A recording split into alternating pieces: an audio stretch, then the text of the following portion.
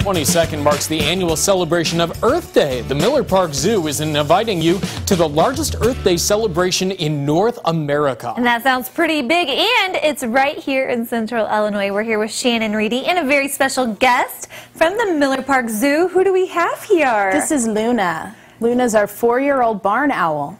And Luna has been very excited since um, you've stepped over here. So tell us a little bit about Luna. Well, it is her first visit to a television studio, so there's Oh, lots welcome, of things Luna. to see. Glad to have she is a Oh. star in her own right, but generally in the out of doors.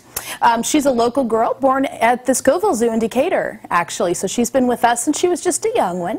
She's And, um, beautiful. yeah, isn't she gorgeous? She is. She has, it looks like a certain kind of marking pattern there on her breast and on Mm-hmm. her wings. yeah. Does that help her blend in with the environment? Absolutely. Owls are known for their camouflage. I'll turn her around so you can get a better view of those feathers in the back. Yeah. It really helps her blend in with the woodland that she would be native to. Um, in fact, these are these birds are found all across the globe as barn owls, which is kind of interesting. Most animals don't translate that way across um, across continents, but barn owls do.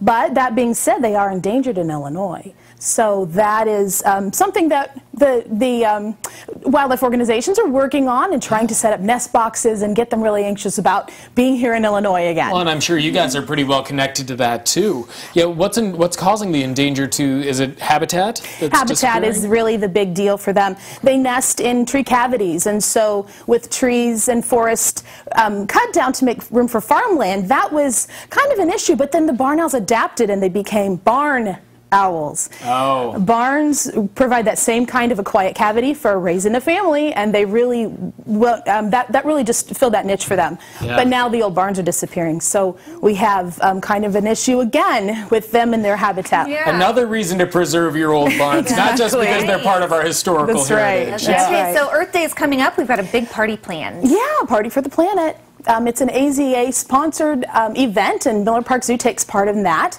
Um, it's our basically our big Earth Day event, and we think um, that everybody should just come out and learn a lot more about what steps we can take, the things we can do that are easy and fun.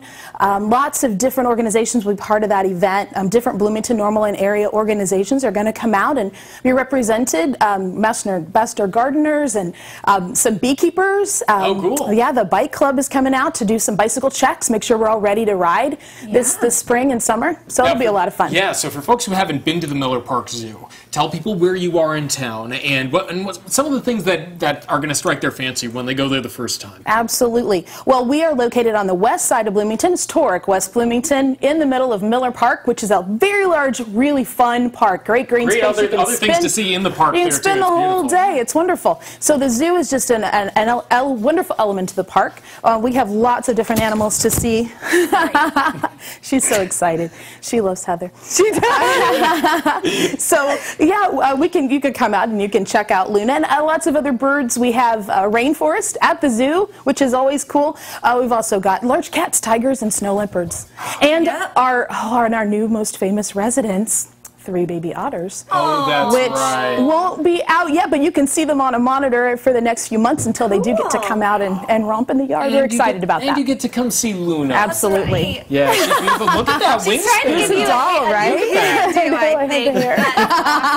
All right, well, Luna, you did a great job on your first TV appearance. Yes. Yeah, right? She did. Yes. Good stuff. Shannon, oh, thank you Yeah. very much. Oh, we it's my pleasure. it. Shannon Reedy with the Miller Park Zoo. Hey, you can check out all their information via our website. Just go to ciliving.tv and we'll get you connected to the biggest party on the planet Right, for we're Earth partying. Day. And up next, we are partying with a warm dish from Mary Ann's Diner. And later, did Joe Barlow start a donut war yesterday? I hopefully you saw the April Fool's Day Yeah. prank where our own Drew Wilder got Joed.